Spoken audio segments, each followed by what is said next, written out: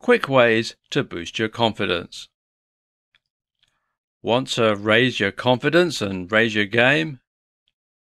It takes a long time to address the kinds of deep seated insecurities that lead to chronic low esteem.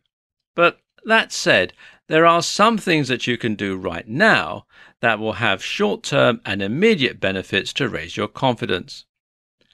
Let's take a look at some of the best. Adopt a power position. Using larger body language exhibits more confidence, but it also actually triggers the release of testosterone and other chemicals that make you feel more assertive, aggressive, and successful. Remember something you did well. Think about the last time you absolutely killed it and try to remember that occasion. Now live in that moment for a while and let it psych you up into the same mental state you experienced the first time round. Work out. Workout makes us more confident in a whole ton of different ways.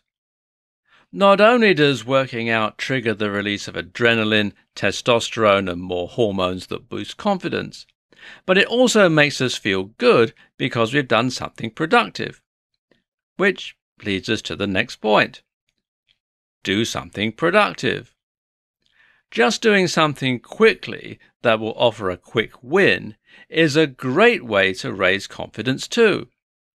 Make the bed, tidy the kitchen, shoot off a quick email, get something done, and feel good about it. Listen to some music. There are a lot of music tracks out there that are built around raising your confidence and self esteem. Might I suggest some tracks by the artist Stan Bush, which are all about killing it? Spend time with friends. If you have just a little bit of time to build your confidence, then try spending some time with friends or a partner, anyone who makes you feel good about yourself.